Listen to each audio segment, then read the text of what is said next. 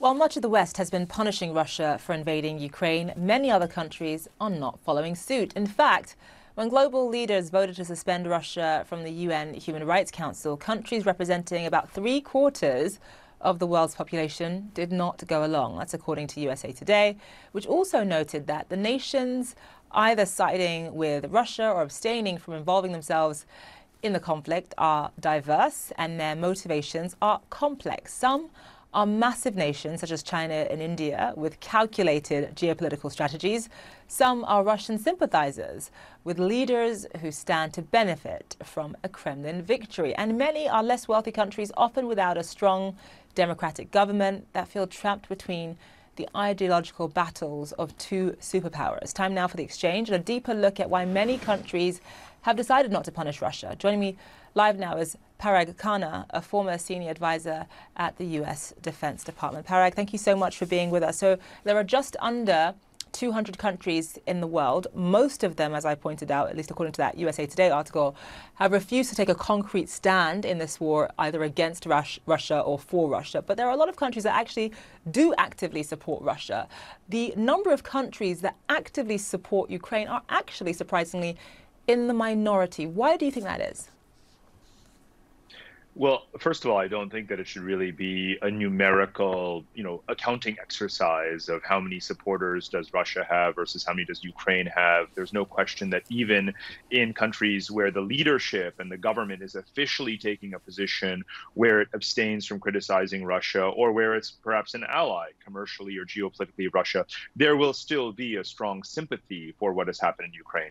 And also, of course, some countries, quite frankly, matter more than others in terms of the weight of their vote and of their position. For example, as you mentioned at the beginning, China and India. So rather than doing kind of the counting exercise, I think what's more interesting, as you also pointed out, is the range of countries around the world that Russia has cultivated, built relationships with, has trade or military agreements with. That does include, of course, indeed, uh, China, India, African countries, Latin American countries. And it is that geographical breadth and range of types of government, whether it's authoritarian or democratic societies, that because of those historical or current relations with Russia are more or less, quote unquote, taking that side.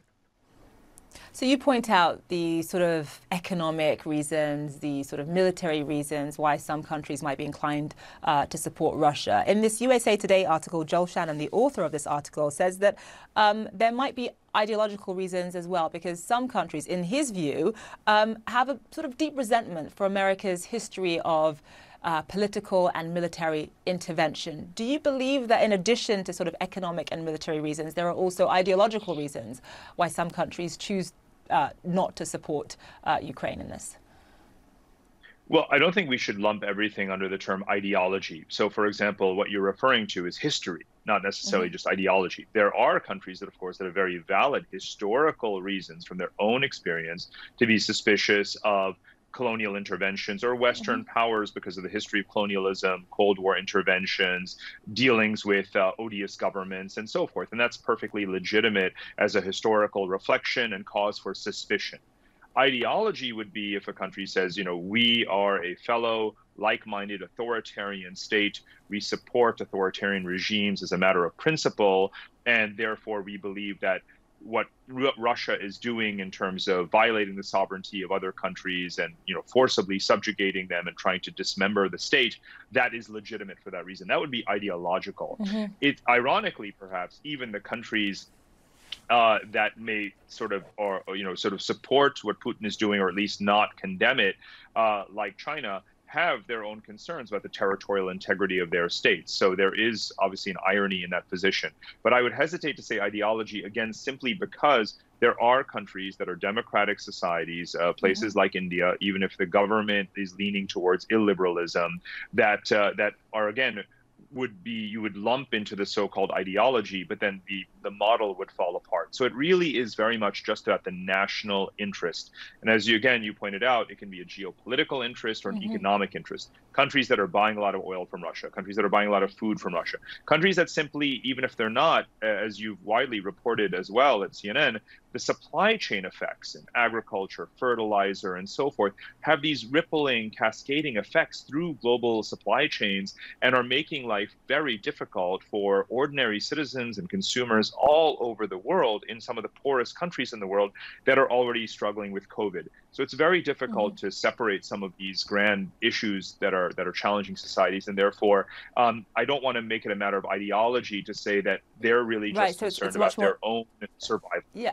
So it's much more nuanced than that. Just sort of quickly, my final question. Absolutely. And that, that is, you know, the United States and Western Europe see this war as very black and white. There's obviously a clear aggressor and basically a clear victim in this war.